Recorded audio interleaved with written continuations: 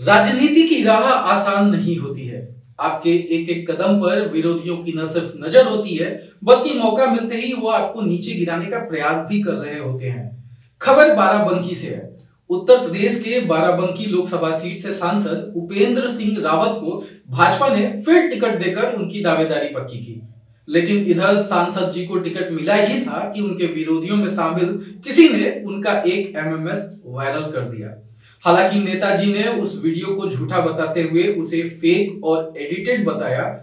उन्होंने क्या कुछ कहा इस मामले में? चलिए सुनते हैं। प्रमुख राजनीतिक विरोधियों के द्वारा मेरा एक एडिटेड वीडियो वायरल किया जा रहा है, जो मेरी छवि को धूमिल करने के लिए ऐसा किया गया है।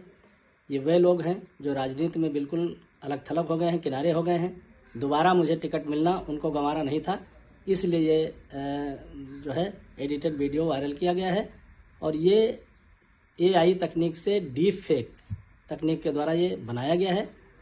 कभी किसी का पुराना वीडियो, उस पर चेहरा मेरा लगाया गया है, ये आई तकनीक का कमाल है। मैंने इसके लिए एफआईआर भी दर्ज करा दी है, जाँच चल रही है। जिन लोगों ने ये घिनौना कृत्य किया है, उनके खिलाफ कार्यवाही ज़रूर होगी। मैंने ये पुलिस से भी पूछा है तो पता चला है कि विवेचना ठीक रास्ते पे चल रही है, जल्दी ही वो गिरफ्त में आएँगे।